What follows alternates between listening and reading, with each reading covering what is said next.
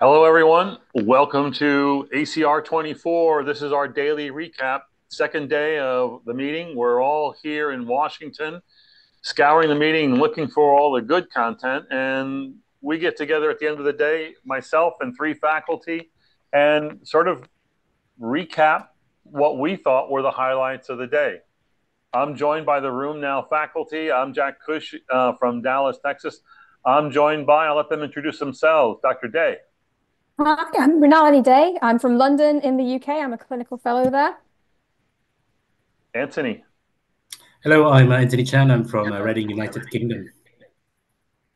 And Eric. Hi, Eric Dein. I'm a rheumatologist in Summit, New Jersey. Okay, so the ground rules are we're each going to present our favorite abstracts. Um, we're going to do two rounds of this. So we're going to cover at least eight of what we think are the best abstracts of the day. I want to remind you that we do this daily recap um, every day of the meeting. We did yesterday, today's day two, tomorrow day three, and day four, all at 6 p.m. Eastern time. We live stream it uh, you can watch it uh, either on Zoom, YouTube, Twitter, Facebook, or LinkedIn. So why don't we begin and let's begin with uh, uh Mini Dey.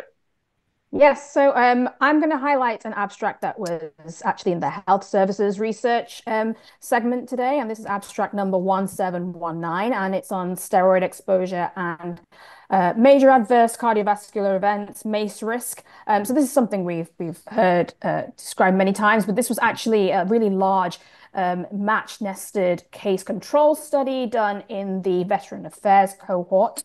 Um, so it's known that approximately 75% of our patients with rheumatoid arthritis are on steroids to manage their RA symptoms at any given time. Um, and this was basically looking at the effect of cumulative um, steroid use. So there was about 700 patients in this cohort of about 19,000 who had incident MACE, um, and it was found that greater cumulative uh, steroid use um, was associated with incident MACE, and crucially, um, that did not act, that was regardless of whether patients had um, baseline MACE risk. Um, so I just felt this was a really important study because obviously it adds to our growing evidence on um, comorbidities, cardiovascular risk in our patients with rheumatoid arthritis, um, and just really brings home the fact that we really need to be trying harder to get our patients off steroids and onto steroid-sparing agents um, much more quickly and more effectively. Yes, we had a highlight yesterday from the TAPIR study um, in yes. GCA, which is also about uh, weaning people off of steroids, and that was probably a good idea. Steroids seem to be um, a common topic. Well, what did you guys think of that? This uh, this research, Antoni? Yeah, I thought it was uh, great. In fact, I, I joined that talk as well. Um, but I think one of the issues was around how do we identify the um, the risk factors. In this meeting, it looks like a lot of the um, risk calculators that we are using is probably not as good as we like them to be. And I think a lot of the message was going back to just assessing traditional risk factors, addressing those, and then trying to minimize steroid use as much as possible. Eric. Yeah, I, would just um, draw attention to my favorite session that was related to this. That was the session today by Dr. John Stone, uh, Michelle Petri, and Beth Wallace, where they looked at if there's a future for if steroid free is, is a future, and they looked at ANCA vasculitis, lupus, um, and, and, rheumatoid arthritis. And I, I, can't do it justice in, in a short summary, but really kind of looking at all of them and how much we've been able to bring down steroids for each of those uh, and looking to see in the future how little we can bring. I think there's always going to be time where we need some, but um, hearing those kind of three, you know, super experts at, at what we've done and take the historical long view is is quite amazing. You know, so uh, Dr. Dey brings up this issue of, of MACE, and obviously a, a big issue. Um, Eric, is there more from that session that you think we could we could add to this discussion? Everyone's told to minimize steroids um, either at the start and certainly at the end. And, uh, and but it's one thing to say; it's another thing to do it. Yeah. Um, did that that session in our on vasculitis, RA, and lupus give any greater insight other than be more vigilant?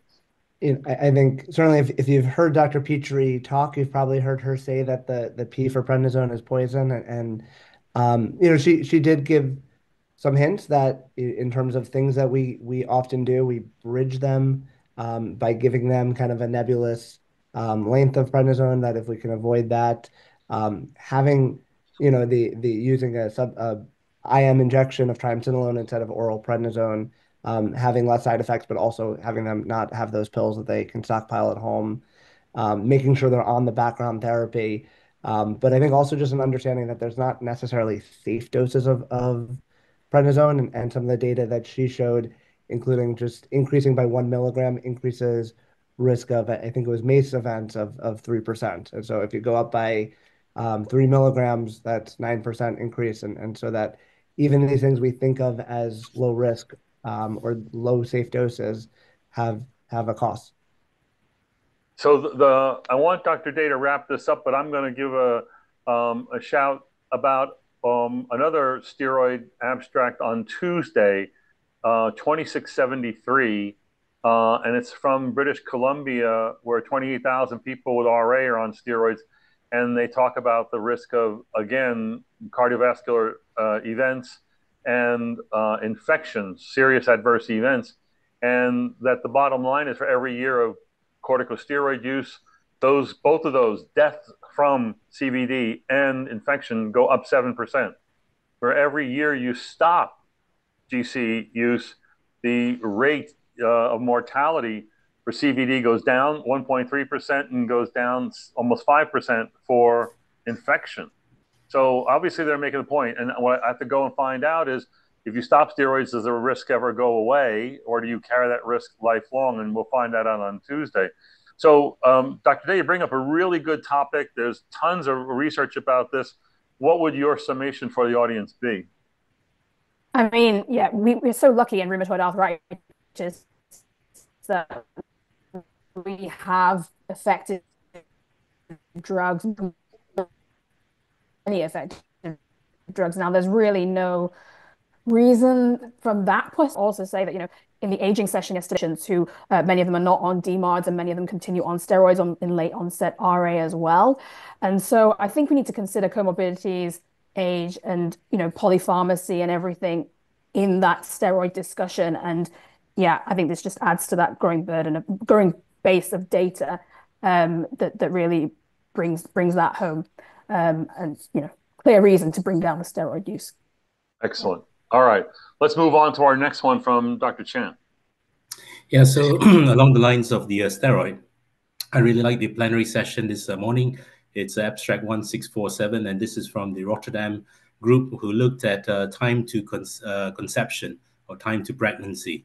And there are two cohorts, the, the um, CARA para cohort, which is the original cohort, uh, which were treated a lot with anti-inflammatories, NSAIDs, uh, prednisolone, uh, with kind of before the biologic era, and the sort of pre-CARA cohort, which is the uh, cohort that received uh, treatment to target strategy, and they had early use of hydroxychloroquine, sulfasalazine, and TNF. Any steroids were required, very low uh, dose of steroids, but avoiding anti-inflammatories. And the bottom line is, in the um, in the treatment to target group, uh, the time to conception was 84 days, on average compared to the older cohort, which was 196. And my reading of this is we need to treat the disease, the disease more. So keeping the rheumatoid arthritis under good control is important for fertility. And secondly, avoiding prolonged use of uh, anti-inflammatories or steroids in these patients and moving towards more uh, targeted therapies in these patients uh, should result in a better outcome. Yeah, this is I, I like this. This is presented at EULAR again, presented here. A little buffed for this meeting. The interesting thing about this was it was just really a reflection of two eras, right? The para cohort was how we used to do things, you know, where we worried about, you know, where we said things like RA made patients would, who were pregnant go into remission. We know that's actually not true. Um, you know, it may be true in about a third of patients, but there's really a third who get a lot worse and a third who can bounce around. Um, so old days we said these things and we really didn't have a, much of a plan. This pre-CARA newer cohort that was treat to target did much better.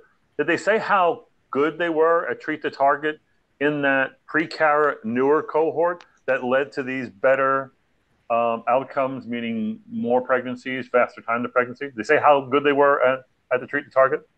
I think a lot of them were uh, were able to achieve low disease activity, and 50% of them were on TNF, um, and very few were on uh, prednisolone. So I think it's more the reduced uh, prednisolone burden and improved disease activity that probably resulted in the results that we see.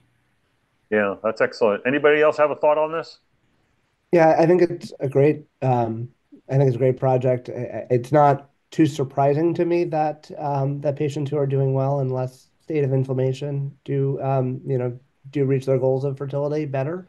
Um, you know, I know there's been data for men that their sperm counts are are better when their um, RA is under control. But I think it is something that is very useful, and we have a lot of patients who are uncertain about you know treating with medications, even medications that we know are safe. Um, but I think this tells us that if we can control them better, we can help them reach fertility goals. Um, so I, I, think it's it's wonderful.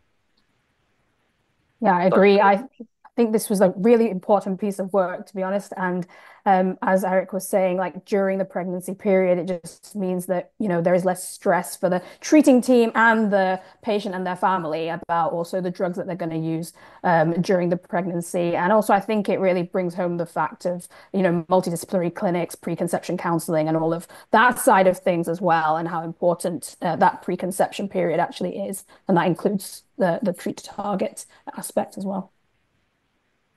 This is a, a, good time to call out the ACR's efforts and its reproductive guidelines, a tremendous document that's at all of our disposals when we're managing patients for, pregnant, pregnancy. And then to, I like always like to say that what we know from medical school, organogenesis ends at week is done by week eight.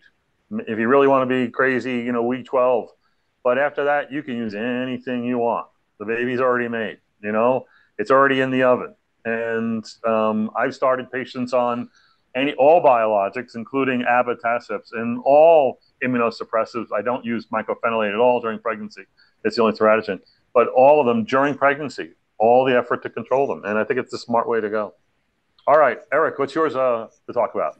Yeah, so I, I was going to talk about abstract 1689, which was a, a study by Kamini Kuchinat in, in um, Oregon Health and Sciences, where she was looking at uh, racial disparities with uh, pulmonary function testing, which is, um, you know, we know that there's so many um, healthcare disparities that affect our patients, particularly in the scleroderma population, which is what the study was looking at.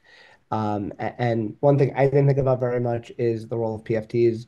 Um, you likely have heard about EGFR being something that has been thought to have potentially a racial bias.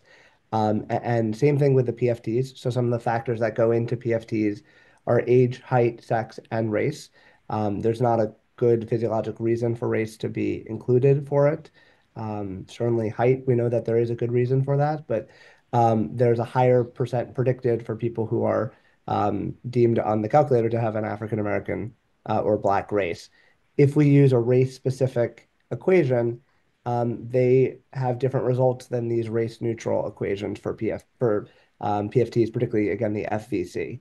Um, so what they did was they looked at Kuchinat looked at looked at these um, um, the Hopkins scleroderma ILD patients and found you know looked at various benchmarks for what they would consider would meet trial el eligibility, immunosuppressant, or lung transplant, and found that it ch changes drastically who's in the in the group. So for example uh, trial el eligibility uh, by their by their threshold, 69% of patients uh, would meet it with a race neutral um, uh, calculation for for African American or Black patients.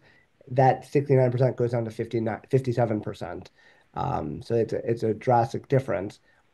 White patients are more likely to have access to a lot of these things or be uh, have more aggressive treatment approaches because when you go race neutral, it, it will remove some of those patients. Uh, so it just shows the way that we're thinking about things. You know, even if you're trying to attack all the health disparities, you may not be thinking about the numbers that we're using, the things that seem the most objective are influence. So, Eric, it sounds like they're looking at this from the effect of the calculation on the outcome side uh, and whether it and how it affects the outcomes. But the calculation must exist for a reason. Um, why why not test the the race uh, component in the calculation against the gold standard for lung function? Yeah, you know, um, that's something that I, I actually asked her about afterwards is because, you know, where where does this FVC calculation comes from? Um, and it, there's really not a reason to, um, you know, there's not kind of a gold standard. We, we kind of use the the PFT data as the gold standard for what love, lung function is. Um, and this is based on a, a calculator that that comes up with the FVC score. And there was kind of a presumption when this was first made that um, at, that black populations have higher reserves, higher higher function, um, but that's not based on any evidence. And you know, I, I kind of asked outside of the talk, do um, do blacks, you know, a, a, general healthy population, do they have higher baseline FVCs? And that doesn't seem to be what the evidence shows. So it's unclear how that kind of got put in there, but it's been in there for as long as you know we've been looking at pulmonary studies. I, I must say this. I find this surprising. I was not aware of this issue. Um, anyone else? Anyone else have uh, uh, uh, an opinion about this? I think it's important to um, to study this, uh, especially with um, a lot of our connective tissue pa patients. Uh, perhaps um, there is more. Uh, the racial, the racial distribution might be, you know, more predominant in certain races. I think the key thing is to kind of avoid over treatment or under treatment. Uh, so you might be denying somebody or you might be over treating somebody if you're using lung PFTs for monitoring of um, treatment response or uh, longer term follow up of these patients. Yeah, I was just thinking that I work in a very ethnically diverse area of South London, and I'm certainly going to be. I didn't. I wasn't aware about this either before coming to this meeting, so I will be thinking about this now when I when I treat those patients who who this applies to. Um, and I think it's really important to think about those downstream effects because actually, as, the authors have correctly pointed out, the you know we may be denying or you know otherwise uh, prescribing immunosuppression to these people for you know these kind of reasons. So uh, yeah, quite important. Something to consider. Um, I the thing is, the PFTs arrive without explanation, and with and without with or without the you know a, a race-based calculation that may change, I guess, based on this kind of research. So it'll be interesting to watch where this goes. All right, I, I was I was going to talk about abstract 1745 presented this afternoon by John Giles. It's, it has to do with um, the effect of statin use on MACE outcomes in the oral surveillance study. Um, a really nicely done presentation by Dr. Giles from Cedar Sinai. Um, you know, the, the, the, the, oral surveillance study is 4,300 patients, and, uh, and we know the outcomes uh, that, uh, that JAK inhibitors were not non-inferior to TNF inhibitors with, with regard to uh, cardiovascular and malignancy outcomes, which is to say that TNF inhibitors were better than JAK inhibitors, or that JAK inhibitors were worse than TNF inhibitors, and that's a whole argument unto itself. But um, the issue is, um, we know that JAK inhibitors certainly will, will increase uh, statins, uh, sorry, will increase uh, lipids in a proportion of patients. And, um, and these patients who are already enrolled because of their age and being high risk, you know, whether or not they were on statins was kind of a, a key issue. So in, in their analysis, sub-analysis of the, of the data, um, I'm trying to pull that up right now, and I don't know why my, okay, so there it is. Um, the number was 23% of the total population in the study were on statins. 53% of those with uh, significant cardiovascular histories, uh, atherosclerotic uh, cardiovascular disease, only, 50, only half of the ones who should have been on statins were on statins. And of those, only 14% were on the high potent statins. A lot of them were on lower doses and whatnot. Again, in the patients who had a high predicted risk of events, only 27% were on statins, and only and of those, only 3.2% were on the high intensity. So the, the idea here is that, you know, a lot of those events might have been actually prevented. So um, uh, in the different arms, we had two TOFA arms and a TNF arm, that the patients that were on tofacitinib were more likely to start statins during the study. Again, another big red flag. So again, the bottom line on this was that um, the patients, uh, it's already a high risk population. Um, but they were really being untre- undertreated uh, regarding statin use, and that might have colored the outcome. So much so, um, the one of the moderators asked Dr. Giles at the end, "Well, knowing the data that you know now, um, would you modify the recommendation so an older person with cardiovascular events, you know, who um, had an MI as a smoker, you would say don't use a statin. It's not. A, don't use a JAK inhibitor. It's not a good idea. Um, might you consider that if the risk factor was just atherosclerotic uh, risk uh, and uh, and whether or not they needed to be on a statin, putting them on a statin, um, since many of those patients needed statins anyway, uh, would that change some of your um, your guidance? And he said it clearly changes the equation where you, you could now consider it. I thought this was very interesting, and as a and as Dr. Giles said, it's it's it's the last nail in the coffin of oral surveillance, at least as far as cardiovascular is, um, so that we now know pretty much all that we're going to know. Uh, what did you guys think of this data? I, I thought it, I I was laughing a little bit when when he started to say it because I, I was about to actually bring out that abstract and I was worried that too many people had oral surveillance fatigue after all the analyses. But right. I, I thought this really adds quite a lot because um, I, I, think I agree with what you said that the the baseline uh, numbers that people were not taking statins as much as they should be um, was uh, surprising and the most modifiable thing that we can do. But I, I feel really reassured that patients who you know, we think will benefit from from being on a JAK inhibitor, particularly tofa, that um, if we're managing their comorbidities as best as we can, and if we're um, having them on primary or secondary prevention with things like a statin, we can probably safely use tofacitinib, you know, a, a bit more than people may fear. And so I think it's it's important that I wouldn't necessarily take these medicines off the table. We have to have kind of risk benefit discussions, but uh, this is reassuring that if we treat the comorbidities, we can use these medicines and control their inflammation, which will make them healthier. I still think that the trifecta of age, smoking, cardiovascular events, you know, is still one that you should avoid a JAK inhibitor. Mm-hmm. But if it's just cardiovascular risk, yeah, you know, the statin might be the right intervention. Any other comments? I found this uh, abstract quite um, alarming, actually, because as you say, the, the rates of taking the statin are quite low, and the types of statins as well, the differentiation between them. I think, you know, we all know that there's a cardiovascular risk in our patients with with uh, rheumatoid arthritis, and I personally would quite like to know why that rate is so low. Uh, is it simply people are not prescribing it, or is you know, is there a patient factor in there that you know, maybe they don't want to, or there's a difficulty taking, you know, this tablet at night by itself. I, I don't know. So yeah, the the numbers really did uh, alarm me a little bit. Um, yeah. Uh, they're, they're, Antoni, what do you think? Yeah, I think we should uh, we should be using more of it. Um, I, I don't think we, um, going back to my earlier point, I think we don't address a lot of the traditional cardiovascular risk factors well enough. Um, and our focus has been mainly on trying to treat the uh, the rheumatoid itself uh, not maybe addressing some of the comorbidities as uh, we have should be.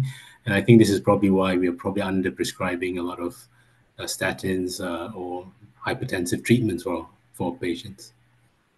Well, it, to me, it says two things. One is that patients in clinical trials have one intervention, and the they don't do comorbidity management in clinical trials. So, so if you come into the play with comorbidity, that's in play right? And and the, the clinical trialist is not the primary care doctor and it may not be the treating rheumatologist. And so that's why this goes under under managed. And the second thing is uh, Jeff Curtis. I was involved in a project with him a long time ago, and he's continued to work on this idea of how good are rheumatologists and physicians in general at doing health maintenance things that they should be doing.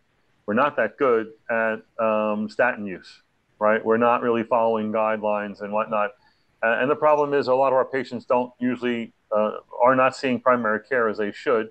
So it's between the primary care that they may or may not be seeing in us, uh, a lot of people fall through the cracks. So, all right, our next round is going to be what we call our, our uh, quick hit round uh, so that we can get in a few more uh, goodies from the day. Dr. and Dr. Dey, what do you think? So this is abstract 1716 in the epidemiology section. Plenty of good abstracts in this session, actually. But uh, this is this is basically looking at serious infection risk with different biologics and targeted synthetic DMARDs. We have a lot of data in this area again. Uh, as you can see, I really like my comorbidities.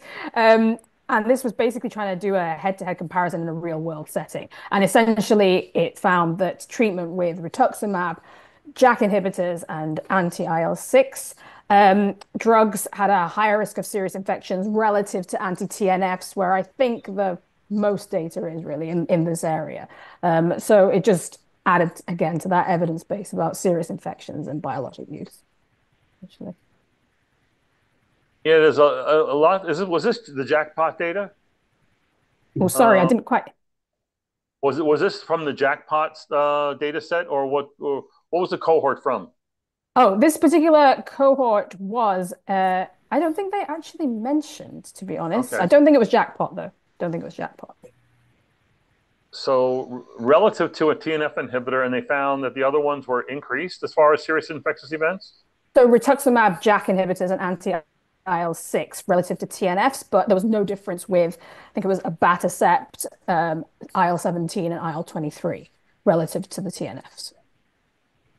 Yeah, I, I, I, I, I could argue, talk about this kind of data forever, and a lot of it has, um, you know, order of use bias, right? Mm. You know, TNF inhibitors get used first when the yeah. patient might not be as bad as they may be later on. Um, abatacept gets used because it's got the label of maybe being somewhat safer a drug and and you know so yeah. and then so when you're looking at large population data or claims data on these regards you're going to find that that serious um, warning, black box warning, um, being backed up by this data. Um, and I think that's fair, but I don't know. I worry about that also impeding people who need these drugs from getting these drugs. So, um, I mean, based on what you saw, is it going to change the way you use any of those drugs, uh, whether it's rituximab or tocilizumab or uh, um, JAK inhibitor?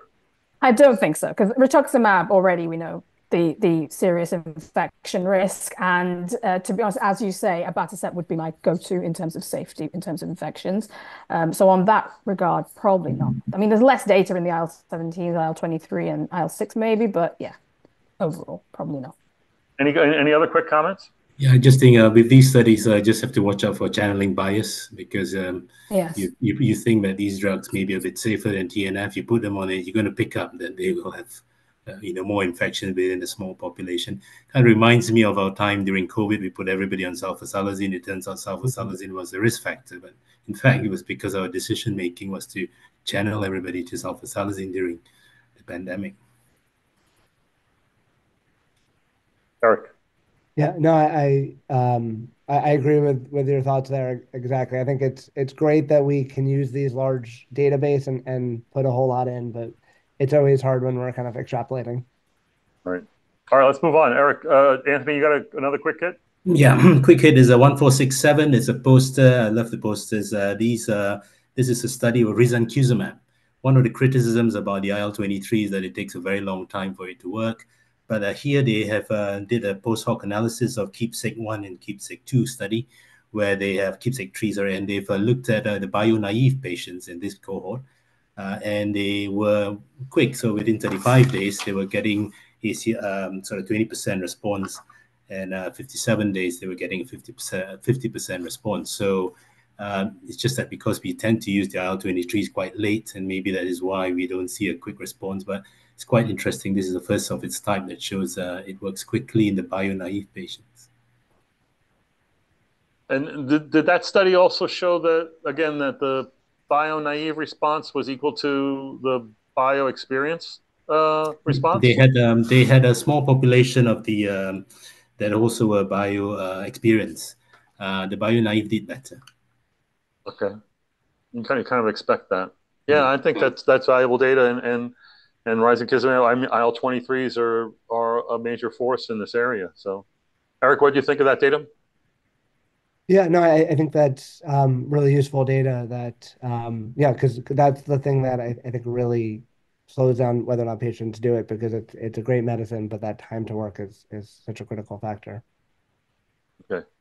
All right. Eric, you have a quick hit? Yeah, I can go quick for 1743, which is uh, looking at Um, uh, really helping to answer what do we do, how do we talk to patients who are in low disease activity, patients that remission is what everyone loves, but low disease activity is a great place to be. It's what the guidelines say we should at least strive for, um, uh, and that we don't need to titrate all their medicines up up to the max. But um, what do you do with those patients that are kind of on the higher levels of the of the LDA? So this study looked at remission versus low disease activity, and they actually separated that out into um, very low disease activity, which is between that 2.8 to six is where they drew the threshold, uh, versus 6 to 10. And the patients who are in remission and very low disease activity did roughly about the same, but the patients who are in low disease activity, uh, that again, CDAI more than 6, um, did not do as well. And um, it's not a surprise that they, they weren't quite as good, but Um, some of the patient-reported outcomes in terms of um, pain, fatigue were definitely different, and and healthcare utilization, things like ambulatory devices like using a cane, um, were impaired in this patient population. So we may not just want to accept that patients who are just kind of in that low, not quite moderate uh, range of a CDAI of 7, 8, 9 every time you see them may not be doing as well as they should be, or we should have a lower threshold to maybe tweak the medication dosing interval or add a CSDMARD or or do something to try to get them a little bit uh, lower down. You know, the problem I had with this data was that um, the way that they present it and the way that the title is, it makes it look like it's a comparison of the outcomes in patients in LDA versus those that are in remission. But it's, uh, and that's what it is. It's a comparison, but it's a it's um, a cross-sectional analysis of a cohort that's treated in a continuum. It's not like it's a clinical trial. And they had two groups with two different outcomes. They they selected their groups from a large number of outcomes and then said, well, that yes, the remission patients clearly had an advantage. And I think that that's inherently obvious to anyone who treats rheumatoid arthritis. But uh, the question that I don't know is still is answered is how how hard should you push? So it's almost like you need an LDA group who gets observed, you know, uh, and you make believe that you're doing something constructive, but you're really not messing with their meds.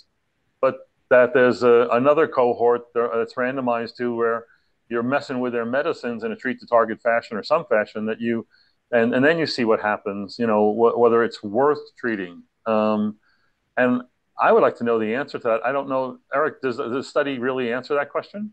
Yeah, I think, uh, you know, the on the face, it's kind of obvious that patients who are in remission are doing better than ones who are not in remission. Um, and, you know, the patient-reported reflects that. Um, I thought what was interesting was some of those other metrics of things like using a cane that shows that there are some kind of objective differences. But again, it comes back to the risk-benefit of do we add methotrexate on or go up on doses? Uh, and that, what's the, you know, how much juice for the squeeze of of going up on immunosuppressants? Is it worth it to get them into that category? That's not answered. You know, this gets into, first off, we're dealing with the better end of the spectrum, right? We're dealing with people are doing pretty good, right? It's not like we're having a discussion about the the difficult-to-treat patients, the recalcitrant patients, and and how you treat them. So, uh, yeah, I I, like the idea of of aiming for remission. Mina, you have any ideas about this? I mean, as I think, as you said, there's a reason we have remission. And I think one thing which has not been touched on is that uh, we know that patients, even with the slightest disease activity, mild disease activity, which is not in remission, are also at risk of those extra-articular manifestations as well. So we're not just, it's good that they looked at PROs, um, and it's good that they looked at the, the the the joint outcomes, but we have to remember as well that, you know, not getting into remission, it has its other risks as well. So, yeah. All right. I would add in quickly that there was a study right afterwards that talked about fracture, and patients in remission have less fracture than than patients who are in low disease activity. So there is a difference. Good to know. Very good. To, Actually, I like that data. One that I liked was from Andreas Kerschbaumer, uh, abstract 0772. Is that right? I think I got that. And maybe it's 1772. Um, he had a presentation today about placebo responses and um, what they mean um, over time.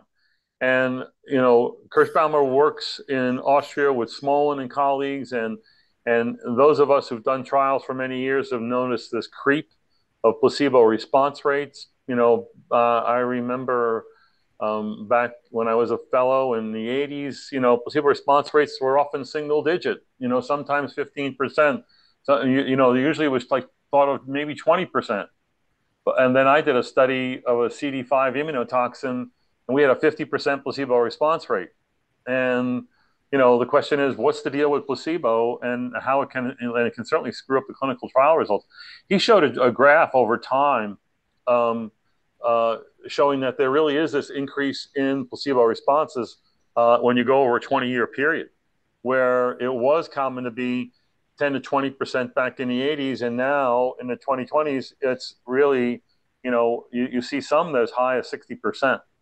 So one, uh, placebos have gone up over time. Um, two, that uh, the really cool part of the study was where were the trials done in the 80s, 90s, 2000s, 2020s. And he shows a global map and shows the United States lighting up in 19, the 1980s with a little blip in Western Europe. And that as time goes on, the map changes in color, color indicating how many people are enrolled in trials, showing that there's been this gigantic shift to worldwide recruitment and uh, recruitment in small countries and in big countries uh, all throughout Europe and um, and, and into Asia and into South America. Uh, so therein also lies that a lot of the newer patients are coming from countries where one they don't have a lot of options, and the one thing that was taught to me to uh, learning clinical trials uh, again in fellowship was a lot of what you see in placebo responses have a lot to do with how many options that patient has remaining after that study, right? So a patient who enters a trial in my practice, you know, for psoriatic arthritis has got a, you know, a, a lots of options. But if you're in, you know, um, in Chile and enrolling someone, maybe this is the only option they have. So they stick in there.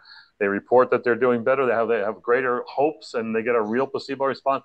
So the other thing that they showed, the last point they showed is really cool is this inverse relationship between placebo response rates and the gross national income of the country um, involved.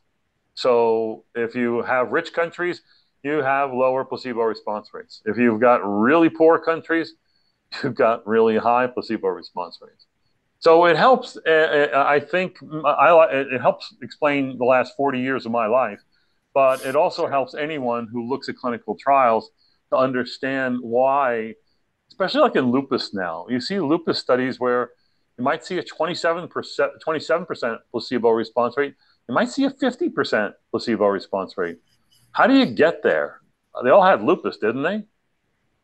So I think it, it does do some explain. It, it helps explain things, and whether it's going to change the way trials are run, I don't know.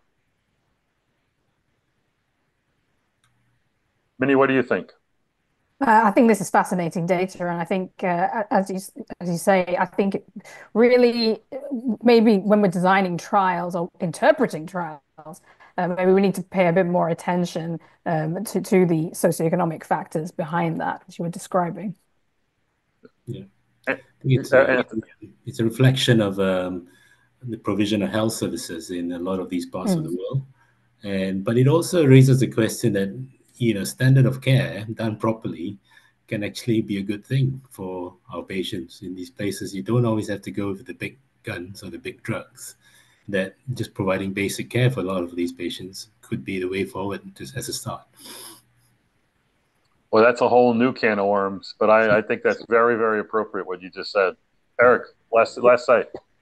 I agree. I, I, uh, you know, I think again, it's it's placebo plus conservative management or, or standard of care and and uh, inpatients just getting them into the medical system in, in potentially in a developing country. I think it's very thought provoking. I think it's you know challenging because we don't know exactly you know these are big countries and, and there's rural sites, academic sites and cities, and so it, it's hard that we can't get more granular on the data. Um, so it, it would be great to learn more, but it's totally thought provoking for for how we're doing studies. All right. I want to thank the faculty for a great discussion of some great abstracts here from ACR 24 in Washington, D.C. Um, tomorrow, tune in at 6 p.m. Eastern Time. We're going to do it again with three other faculty from uh, the floor. Uh,